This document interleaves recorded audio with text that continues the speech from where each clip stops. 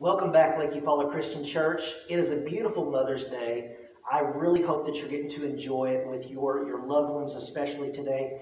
I pray that on this special day that we are thanking God for our mother figures.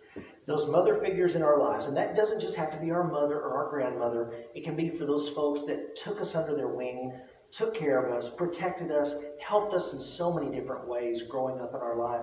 So I pray that, you know, as I'm looking at my lovely mother and my sweet wife today, both of those lovely ladies are Proverbs 31 women.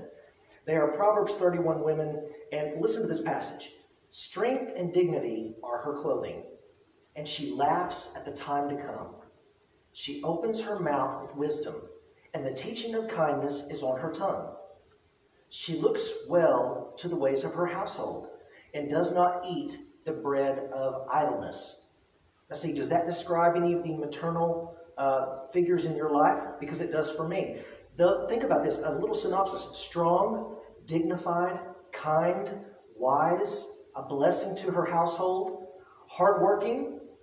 Those are fantastic. That's only like a three verse snippet that I read you from Proverbs 31.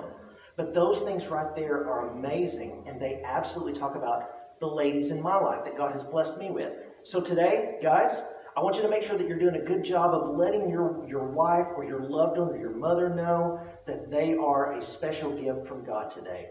And even if you want to find one of those verses that matches up with them, read Proverbs 31 and see if something doesn't speak to you. So, thank you, mothers. What a beautiful day it is to celebrate you. Now, let me get started here today with a little bit of a sermon illustration.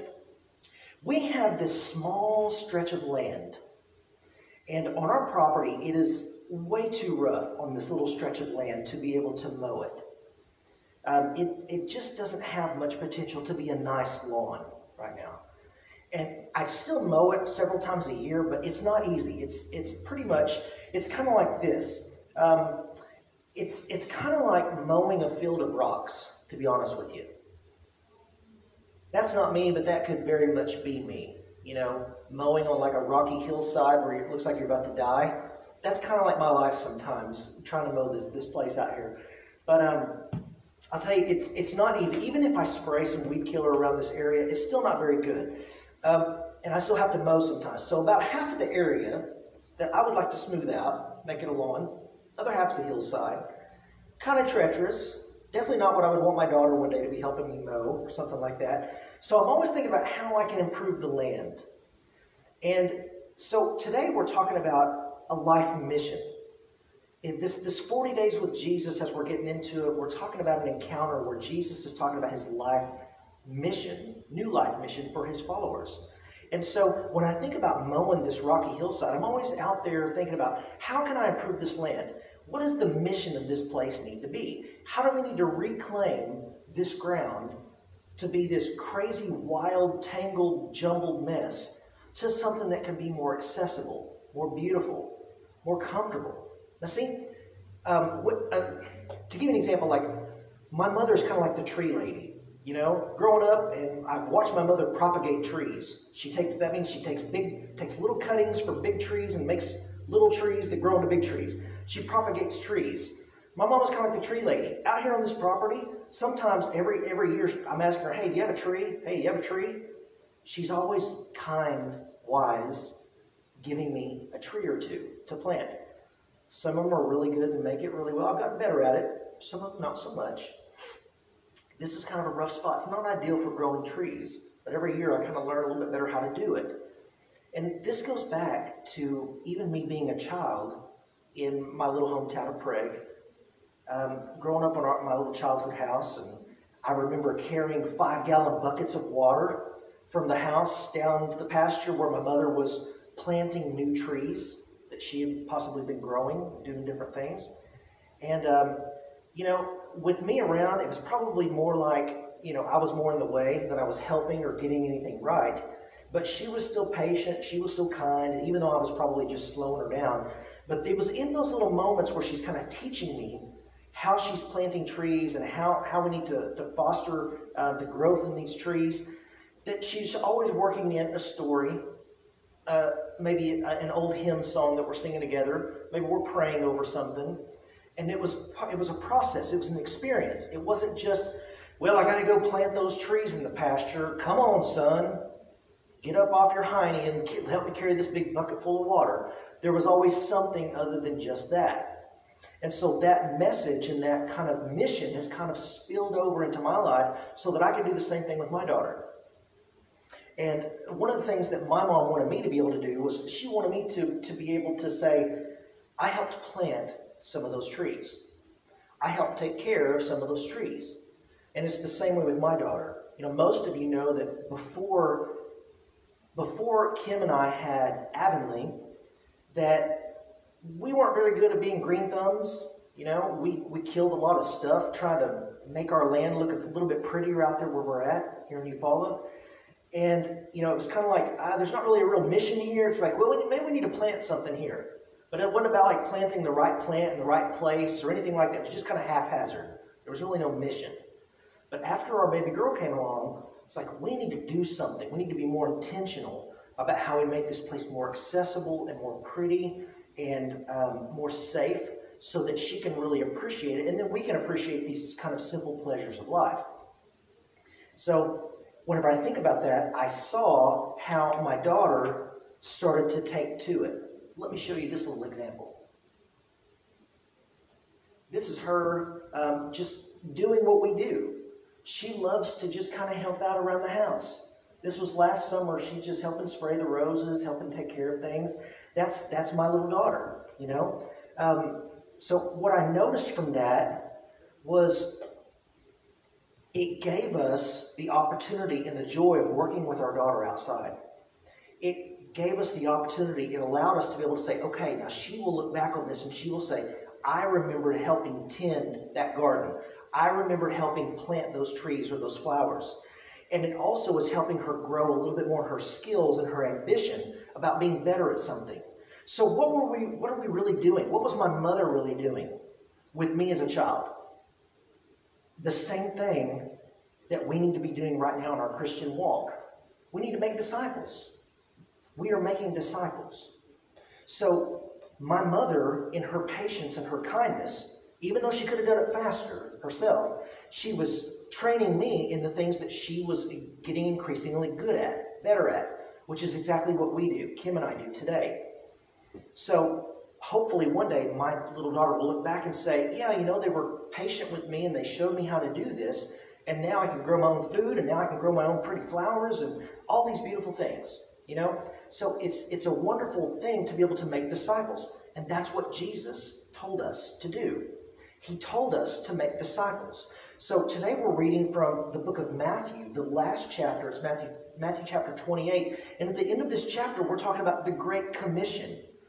And the Great Commission um, is kind of an, a command for evangelism. But there's no denying that evangelism also relates to and coincides with making disciples. And now making disciples is more it's more of a longer process, it's more drawn out. Um, it's more time consuming than just sharing the gospel. Making disciples requires a great deal of effort beyond that just initial sharing of the gospel. And at times it can kind of make you feel like that you've been wasting your time. I mean, it can absolutely feel like, man, this is maddening. I'm pouring out my life and my heart and my time, and this just I, it could be do, it could be doing so much better. I could be so much more efficient if I just wouldn't waste my time. I don't know if you've ever felt like that. I have. And God has shown me that that's not the attitude I should ever, ever have. And so consider Jesus. For three years on this earth, he went about doing the work of his Father. For three years, he had the company of 12 men dragging along behind him everywhere he went. And in a lot of ways, those 12 men were kind of like children. They fought, they argued, they lacked understanding. Even though Jesus tried to tell them things over and over and over again, they still lacked understanding. And so it's kind of funny to even imagine how much more could have Jesus done if he hadn't been, you know, trying to deal with these 12 men. But see, that's not God's will. God's will was to make sure that he was bringing people along through failures, through struggles, through temptations, bring them along so the process of discipleship and making disciples is the patient, time consuming process of taking younger believers along with us. When we go out and we do the work of the Father, we need to be able to show them and be able to help guide them in their faith and their service. Now, see, in kind of an efficiency based culture, we want to be able to get things done quickly and properly and be done so that we can move on to the next thing. And I totally get that. But I know that my mother didn't bring me along so that she could be more efficient. She brought me along because of the tremendous value that she placed upon me. And that's the same thing that I try to do with my daughter, and my lovely wife tries to do with my daughter. And that's the way we feel about our sweet girl. So, really, when you think about it, this is what drove the Savior's earthly ministry. It wasn't just about being efficient, it was about the love of people to bring them along and show them God's way. So, what do you think Jesus might be trying to show you today, guys? What do you think he's patiently been bringing you along to try to show you? Let's think about that as we jump into more of our sermon today. It is week four of 40 Days with Jesus. Today we're talking about our life mission. So if you got your Bibles, I need you to open them to Matthew chapter 28, and we're just reading five verses. Just Matthew chapter 28, verses 16 through 20. And it says this, guys. Then the eleven disciples went to Galilee, to the mountain where Jesus had told them to go. And when they saw him, they worshipped him, but some doubted. Then Jesus came to them and said, All authority in heaven and on earth has been given to me. Therefore, go and make disciples of all nations, baptizing them in the name of the Father and of the Son and of the Holy Spirit, and teaching them to obey everything I have commanded you. And surely I am with you always to the very end of the age. So I want to highlight three little aspects that which Jesus gives us today. If we are followers of Christ, Jesus gives us a life mission. You're not just meant to come and sit in a pew at church for the next 50 years of your life, and that's it. He's actually giving you a life mission. And so it's something that it's good to come and get filled, get your spiritual cup filled up, but you're not meant to just come and sit and never do, ever, anything. That's not the way he's trying to bring you along. So, if we're followers of Christ, Jesus gives us a life mission. So, for our life mission, we need to know some things. The source of our life mission is Jesus. The goal of our life mission is to transform lives. And the power behind our life mission is His presence. So, let's talk about the source. The source of our mission is Jesus today. The problem that we often have when it comes to discovering our life mission is that we go to the wrong source. Now, see, guys, I've told you before that, um, you know, when I was a, a young man, especially in my upper teens, early 20s, you know, most kids today, they're like, I don't care what I'm supposed to be doing, I'm just going to have fun. When I was in my upper teens, early 20s, I was, it was kind of like pressure. I'm like, man, I'm, I need to know what I'm supposed to do with myself. I know what I'm supposed to do with my life yeah, I'm going to college and yeah, I'm, I'm, I'm still doing the church thing and I'm still helping out. And, you know, but I, I don't really know what I'm supposed to do. And so I was trying to kind of continue to look outside of just going to Jesus himself and to know ultimately what my life purpose was.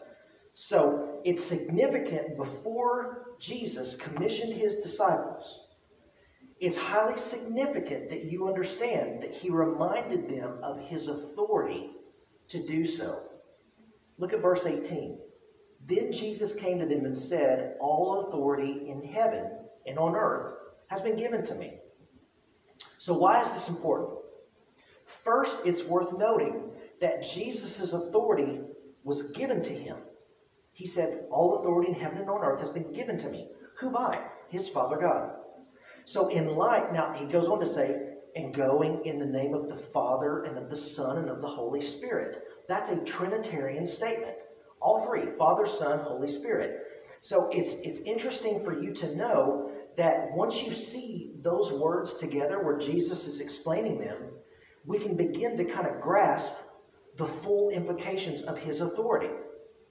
Jesus, the man who was anointed, the man who was crucified, the man who was buried, the man who was resurrected, and now he's risen, is also not just a man. He is the divine Son of God, God, the creator of everything. And so he has received his authority both as the Son of God, but from God the Father himself. So that's incredibly important. You need to know all of the authority, all of the authority from the things that you see belong to Jesus. All authority, everything, including you. So when you realize that, it should change the way your outlook sees your life mission. Okay? So what's a point here? Oh, Jesus' authority is universal. That's the second extent of his authority. It is universal. It is in heaven and on earth. So the implications of this are huge. In the context of the Great Commission that immediately follows this verse, it highlights that Christ is true authority over all creation. And that is the assurance that his disciples then, 2,000 years ago, and us, his disciples now, that when we go to share the good news, we're not just doing it in our own strength. It's not just about us. We are doing it in the authority of the King of Kings and the Lord of Lords. Amen? That is real authority. And everything is under the authority of Jesus.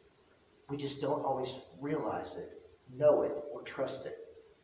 So, he uniquely understands that us, he uniquely understands us and knows how we can play our part in the changing of other people's lives because Jesus is sovereign over all. So, in other words, if you want to find out and receive your true life mission, you have to go to Jesus. You need to go to Him. Stop looking at just everything that the world tries to tell you to do and go to Jesus. Now, see, I've had a lot of different jobs in my life. I've been trained in a lot of different ways, different types of skill sets different types of things that I can do or that I'm able to do. But at the end of the day, even though I'd be trained, I'd be doing well at a job, I still didn't really feel like I was fulfilled. Like, I don't, yeah, I mean, it's good, but it's, it's a job. When you really understand that Jesus is the source of everything, when you go to Him and you find out how He can really use you, that's when you understand your life mission. It's not in everything else of the world, it's in Him. So we need to go to Him. The second aspect of our life mission is this it's the goal. The goal of our life mission is to do what? Transform people's lives. That's why we're here. So, this is incredibly important. When we come to Jesus, I hope that your life is transformed. Now, sometimes, sometimes we may not feel like our life is instantly transformed. And we've talked about this before in sermons in the past. You need to continue to make yourself an available home for the Holy Spirit to be able to be used, to not shrink away from the power of God, but instead to step forward into the power of God, for Him to be able to use you. And so the goal of our mission is to transform lives. And so hopefully, we are becoming more transformed as we continue to yield ourselves to our Savior and to our Creator. But look what he said here in verse 19 and 20. Therefore, go and make disciples of all nations, baptizing them in the name of the Father and of the Son and of the Holy Spirit, and teaching them to obey everything I have commanded you. So, the main clause of this sentence is to call all of his disciples to learn these things. Go baptize, teach. That's pretty simple. We make it very difficult. But in those words, it's go, it's baptize, and it's teach. So at the very heart of our life mission is this go.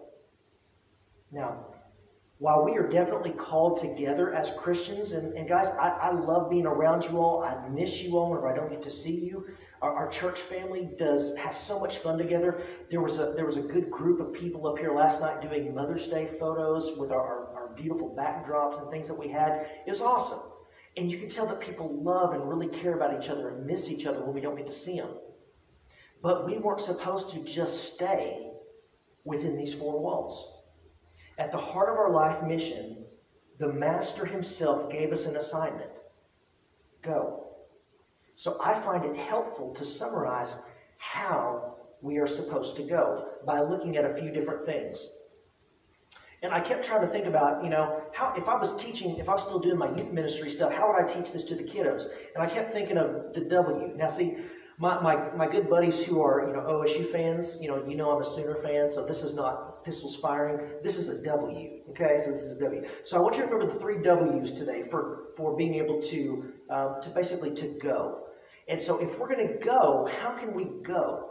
And that is in works, in words, and in wonders. So, firstly, let's talk about works. This happens because of our changed lifestyle and because of the things that we want to go to be the hands and feet of serving God's people through Jesus. So, through our changed lifestyle and through actively serving others in the name of Jesus and in the love of Jesus, we see these. I, I always think about this example from um, the Sermon on the Mount earlier in the, in the, in the book of Matthew. I think it was Matthew chapter 5, where uh, Jesus is saying, You know, you are the light of the world. And since you're the light on the world, light of the world, a city on a hill cannot be hidden. So neither do people light a lamp and put it under a bowl. No. What do they do? Instead, they they put their light on a lampstand so that it can illuminate the whole house, bring light to everybody in the house.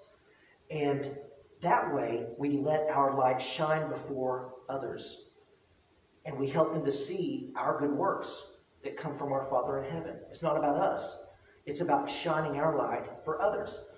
That is a lot of times some of those beautiful works that we do. Sometimes that's through our changed lifestyle. When we come to know Jesus and we understand it's not about me anymore.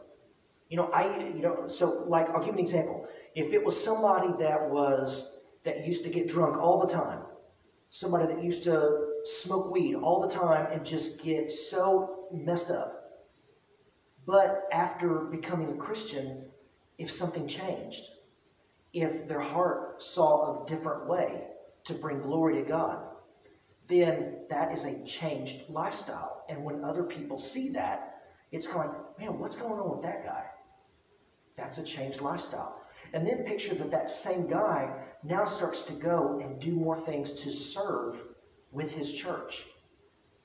That is works. That's going in works, the first W. And works sometimes is what shows people the gospel before you ever speak a word of Jesus, before you ever go evangelize. You know, a lot of people get this scared feeling about being evangelistic and having to spread the word of God. Oh my goodness, I'm just, I'm so scared. Sometimes the works are what bring people the gospel first before the words. But let's talk about, but we weren't just supposed to, you know, just supposed to do things. We're also supposed to be able to give words. So when we go with works, that often opens the doors for us to speak with words concerning the issue and the essence of the good news of Jesus. Now, if we were looking from uh, Mark chapter 16, you know, Mark chapter 6, Mark was the first gospel of the four gospels. And so that's kind of the more ancient of the others. And so he put it this way in Mark chapter 16, verses 15 to 16. He said, He said to them, Jesus said to them, Go into all the world, preach the gospel to every creature or all creation. Preach. Whoever believes and is baptized will be saved. So, whenever we talk about that, preach the good news, a lot of people think, I'm not a preacher. Well, guess what? For all my whole life, I'm thinking, I'm not a preacher either, y'all.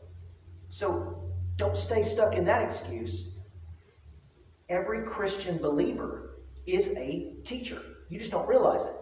You're either teaching the people around you that Jesus is important, that he has an impact on your life, that he has changed you somehow, you want to share that love, you're either teaching people that or you're teaching them, no, church isn't important. I mean, I, am a Christian, but I mean, I don't, I'm not a practicing Christian, you know. I don't really go, I don't really care. You're either teaching the world this or you're teaching the world this. Every Christian believer is a teacher, even though you don't realize it. So don't get scared away that oh, I've got to go preach the gospel. I can't do that. I'm not an evangelist. That's not my spiritual gift. That's okay. That's okay. But what is important to remember is that we have good news, the best news ever. And so we are not supposed to just keep it to ourselves. We're supposed to go help tell others about it. Why? Because hearing, faith comes from hearing. Hearing by the word of God. That's Hebrews 10 17. Sometimes we get scared that we're too inadequate. Sometimes we get scared that we don't know enough. Sometimes we get scared that we're going to be rejected. Nobody wants to be rejected. I get that. I've been there. A lot of us in this church have been there. But the important thing is, are you being obedient? We're supposed to go. We're supposed to preach, even though we don't even realize it. So we do that through works, we do that through words. And sometimes, guys, you don't understand this. Regardless of what your personality is, you may be the most extroverted, life of the party. Guess what? If you understand your life mission, God is going to use your personality to affect other people. Now, on the flip side, what if you're an introvert and you're scared to death to talk to anybody? What if you just want to stay in your little circle and not even talk to anyone?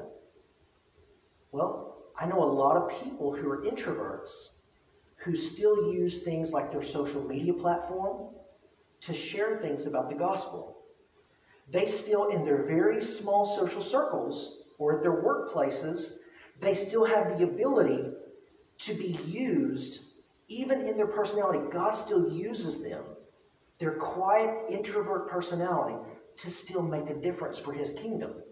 It's all about your perspective. Will you let Him use you in that way?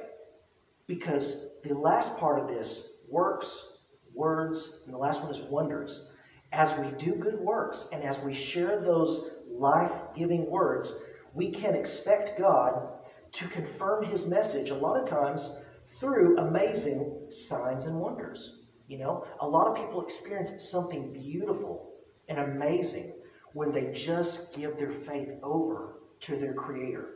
He shows up in an amazing way.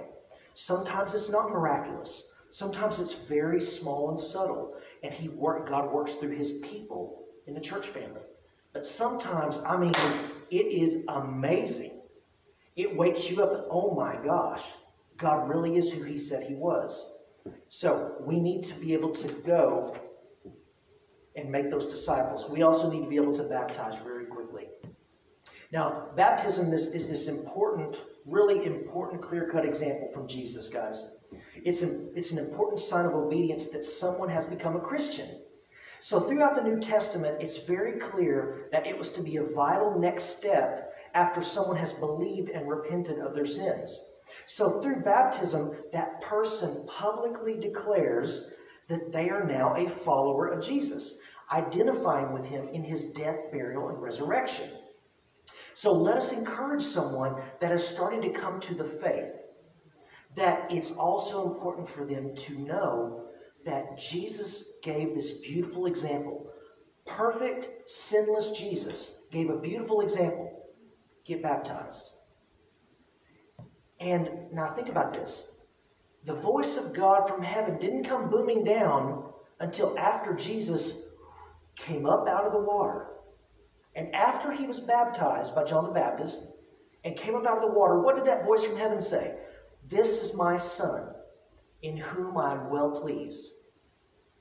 See, that didn't happen before he got baptized. That happened after Jesus got baptized. Perfect, sinless Jesus. It's a great example. And then in turn, Jesus turns around and tells his disciples, if they believe, baptize them. Now, see, that's pretty important. If it wasn't important, God wouldn't say it. So it's pretty important. So we need to be able to help them to encourage someone that's coming to faith to express their faith in Christ by being baptized. And let me just talk to you for a second. If you consider yourself a follower of Christ, if you consider yourself a Christian, and you've not been baptized, let me encourage you to do so. It is a public declaration that you are a follower of Jesus. It's something amazing, and it's very encouraged spiritually, biblically, through your Heavenly Father. So, thirdly, we're also instructed to teach. So, remember, I told you that every Christian believer is a teacher? That's right. Let's teach them to obey everything that I have commanded you. So, guys, as moms everywhere will testify on Mother's Day, giving birth is the beginning of a long journey. Amen? Giving birth is just the beginning. And it's the same way when someone comes to their faith. Maybe they make a decision to follow Jesus. I don't know what I'm doing with my life, but I just know that I need to do something better. And Jesus is the, the thing that I, He is the entity that I know that I need to give my allegiance to. I'm ready to surrender to Him. That's just the beginning. Baptism isn't the end of your process, it's the beginning of your process. So, I want you to think about this. If the commission to make disciples, going, baptizing, and teaching, if that sounds all too daunting to you, then you need to take heart because we are not left alone. Jesus finishes this great commission by reminding his disciples then and now that if you want to be fulfilled in your life mission, you need to be willing to bring others to Christ. That's something that's so important. Because the power of our mission is in His presence, it's in the presence of Jesus. In spite of the many platforms, guys, the, the social networking that goes on today, you know there's still so many people that feel terribly lonely? It's hard to imagine. But the, one of the greatest blessings of Christianity and one of the greatest lessons of the 40 days of Jesus hanging out on this earth after he resurrected is that Jesus is alive and he's very real. And Jesus could have been resurrected and just gone back to heaven. But instead, we have encounter after encounter after encounter after encounter with these people. So Jesus could prove the point. He's alive, He's well, and He is with you. And He's telling us that He wants us to do something if we trust Him with that. So we are never supposed to feel alone. One of the themes of Matthew's gospel, I love this. One of the themes of Matthew's gospel, the very beginning, chapter 1, we're talking about the, the Christmas story. We're talking about the amazing Jesus and the way Matthew said it was Emmanuel, God with us. Look at the last verse in this book. Surely I am with you always, even to the very end of the age.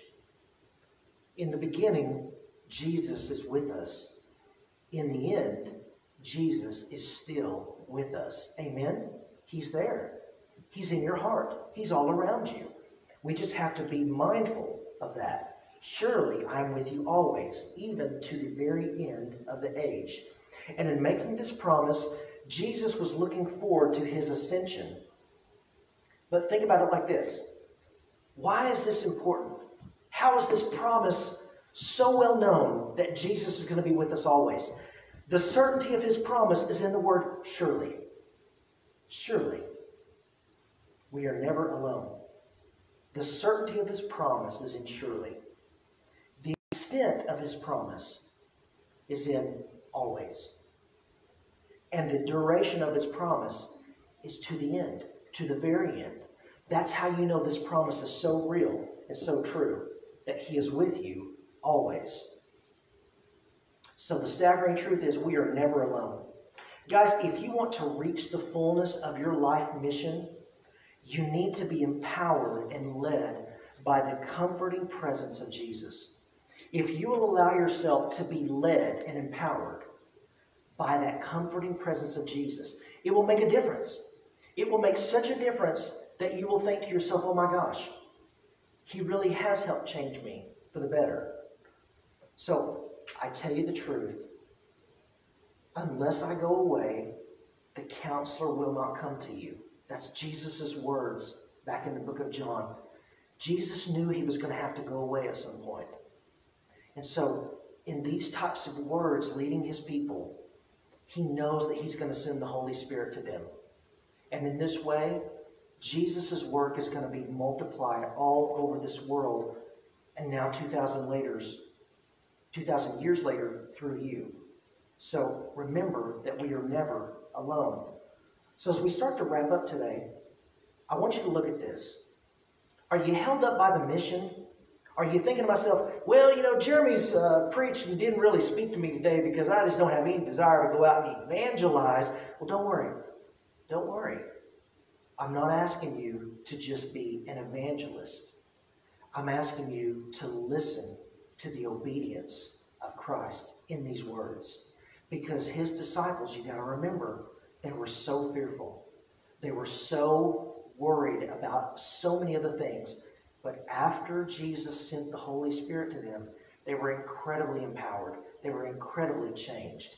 So when you think that you can't do this type of work, you can't do this life mission that Jesus is asking you to do, when you think that it's too daunting and you can't reach it, remember this go, baptize, teach. I am with you always. And when you're too scared that you're not the right person to do this, think about it very easily from this aspect. Think about how to befriend or how to think about your friends and family. Maybe you should make a list. Make a list of your friends, your family, your social circles, the people that you come in contact with that you've never once talked to them about Jesus. Now remember, it's not just about words. Sometimes it's the things that you do, it's the works that you show. Sometimes that's the gospel message that brings someone to Jesus first, more so than you just feeling like, I have to stand on a box on a street corner and evangelize. It doesn't have to be that. Okay? But the point is, are you being obedient in this life mission? Sometimes you might just need to start that process of befriending and then doing even a little bit more to pray. Pray for God's Spirit to work in their hearts. Think about those people that you know that need Jesus and begin to pray for them. And a lot of times, what you're going to do is you're going to invest in conversations with them at that point. You're really going to invest in their life. You're really going to take time to get to know them and what's important to them. And then you're going to be able to think about how was Jesus so important to me in these moments of questioning and uncertainty? How was Jesus so important? And then there's going to be a moment especially if you've prayed for an opportunity. There's going to be a moment for you to share. There's going to be a moment for you to be able to showcase those wonders in your own life. And God's going to work through it. And it's going to be natural. And it won't be as awkward as you think it will be. And there won't be such a rejection that you think is coming. Because a lot of times, I need you to think about it from the perspective of a famous quote. If you've got the cure for cancer, Shouldn't you share it? Well, guess what? You have the cure for spiritual death. Now get out there and share it. Anybody ever watched Growing Pains in the 80s and 90s? That was Kirk Cameron. You ever watch any of these new Christian movies that are made like Fireproof? That's Kirk Cameron. In his ministry, he's able to evangelize through movies, through TV shows. He's able to say, listen, I know that it doesn't all come naturally to us. But if you've got the cure for cancer, wouldn't you share it? Well, if we are Christians, we understand we have the cure for spiritual death. Jesus is with us always. Somebody might need to know that. So remember, what would you do in Jesus' name if you knew that you wouldn't fail? If you knew that it was going to be successful, what would you do in Jesus' name? Don't feel held back by your own inadequacy. Let God work in your inadequacy. That's when He showcases how strong He is. And remember, live in such a way that those who know you but don't know God will come to know God because they know you. Sometimes those little introverted folks, my friends that are too scared to even say two words to people, sometimes the way they live is, is so much of the gospel that someone around them needs. Don't be afraid to showcase those good works and how Christ has changed you, because that is going to be the trigger that helps people to see the amazing work of Jesus in you, even before you say a word about it. Every Christian believer is a teacher today. including you. Every Christian believer is a teacher. You're either teaching them that Jesus is important or he's not. So let's be a believer. And I want you to think about this. If you don't go, if you fail to go, they may fail to know. They may fail to know how important He is. They may fail to know what Jesus has done. And if our life's mission is to make disciples, to be patient and kind, just like my mother was with me, just like I am with my daughter, it's one thing if I do something quickly, I can get it done myself, but nobody learns anything that way. We need to be intentional about bringing them along. So today, I want you to go. And I want you to think about how important Jesus is. Ready, set, let's go together. Let's pray. Father God, I just come before you today. And I just want to thank you, Lord, on this beautiful Mother's Day, that you will continue to help us to know your beautiful blessings for us in this life. And Lord, just like me, for so many years, I didn't know what you wanted me to do. I didn't know what my life's mission was. I worked a lot of jobs, and I was good at those jobs, but Lord, I didn't know what my life's mission was. But Father, when I become obedient to your work, I understand how you want me to be able to do things for your kingdom. And I pray, Lord, that everybody watching this video, video today can feel that pull in their heart to know that you are working in them and want to continue to work in them. Please continue to guide and direct us. Please continue to help us to feel your trust in everything that we do. And help us to remember, Lord, that everywhere we go, you are with us. We love you. We thank you. And I pray that each one of us here today is thinking about those people in our life friends, family, co workers, people that we come in contact with Help us to be obedient to finding ways to be able to share this beautiful good news of Jesus and what he's done in our own lives and how our little church family can continue to make you so incredibly just blessed, Father, because every day we need to be blessing you just as you bless us. Thank you, Lord, for all that you are and all that you do. And I praise you today, Father, in Jesus' name. Amen. Amen, guys. Have a beautiful day. Thank you so much, and God bless you, mothers. Bye bye. Oh, shoot. Hey, turn this off. Right side.